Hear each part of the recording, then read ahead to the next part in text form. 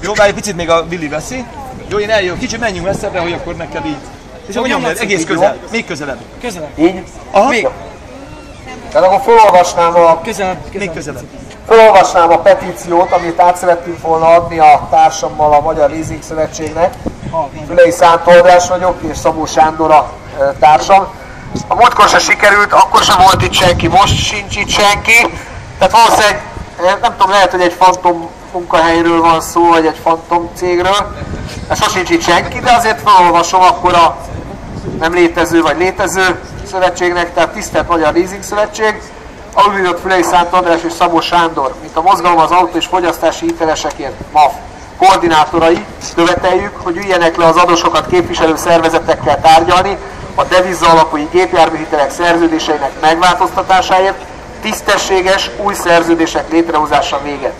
Tisztelettel várjuk válaszukat, és akkor ennyi. Félnek kijönni. Ezek a mocskos csalók úgyse fognak válaszolni, lehet, hogy nem is léteznek. Felszívott. Menjünk akkor.